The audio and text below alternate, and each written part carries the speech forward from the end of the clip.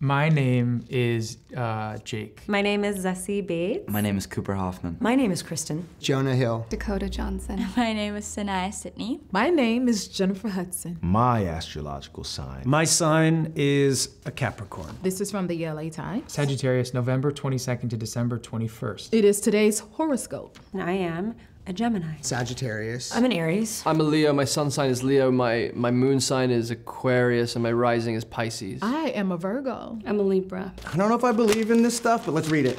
I can't even find the horoscopes. This is embarrassing, Lynn. Ah, okay, horoscope, got it. Yep, thank you. So my horoscope for today from the LA Times is Pisces. The way to a productive day is to pick your high priority and give it all to that. Well, that's easy for them to say because my day has been scheduled and it's back to back and it's kind of crazy. My sun sign is Taurus, but my rising sign is Gemini.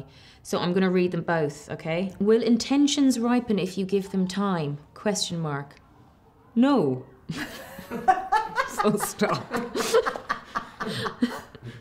In fact, everything gets more difficult and labored.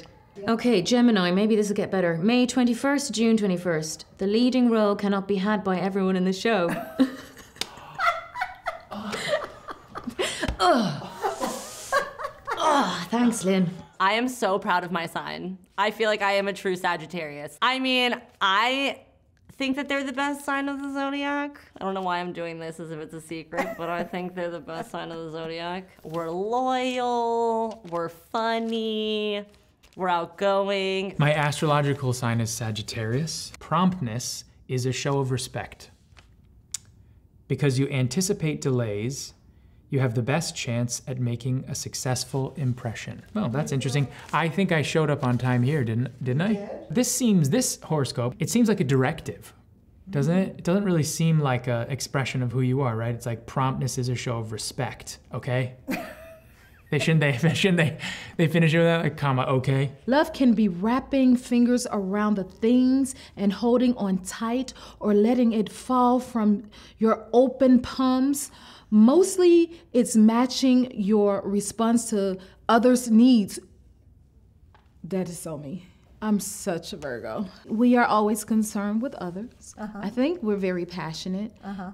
Maybe moody a little bit, very artsy. Um, we love quality. And I know I personally just love seeing people happy and coming together and goodness. I'm a Libra. October 3rd is my birthday. I'm a Libra, so You hold people around you to a certain standard. yourself to a higher one. You'll be better for the injustice. what?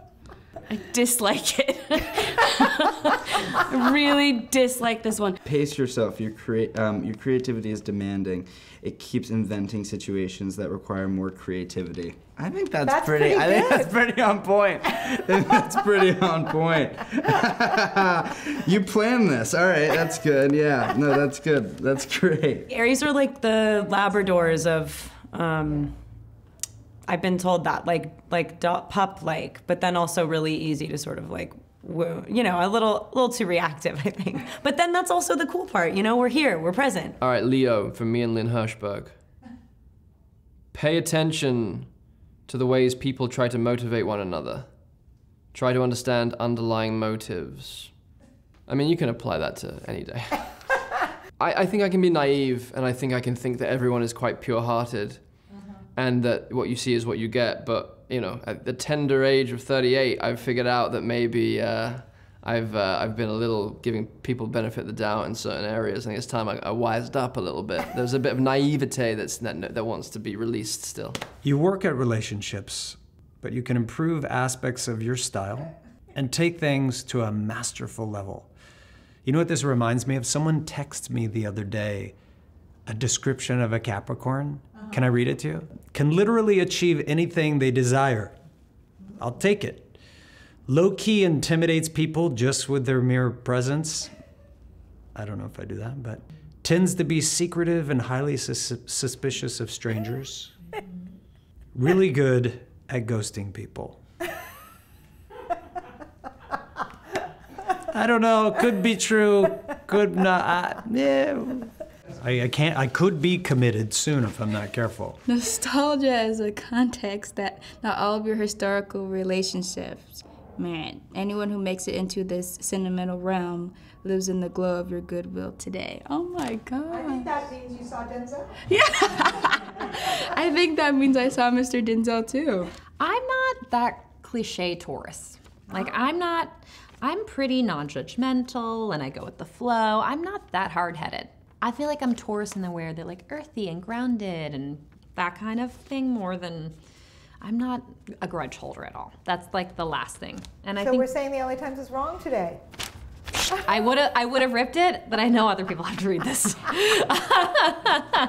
Perfect. I, wouldn't do that to you, Lynn. I'm July 20th, so I'm on the cusp of Leo, so I guess I have Leo qualities. Love's dynamics bring out your fearful and your brave side. Connection is more than a match of preferred traits, it's action and reaction to a shared moment. Really interesting. Uh, uh, this is the thing about these. It always says something like, whoa, that applies to me. But I love the thing about reaction because I was just talking about this. I just think that that's the best acting is reacting and really listening and responding and not being robotic. Yeah, reacting, but this is more about my, my love life. Um, which is a little dry at the moment, honestly. I'm sorry to hear that. It's okay. I'm working. I'm married to my work right now. I think there is something about horoscopes that are very, very, very powerful and important. Okay. But who writes them, you have to be careful of.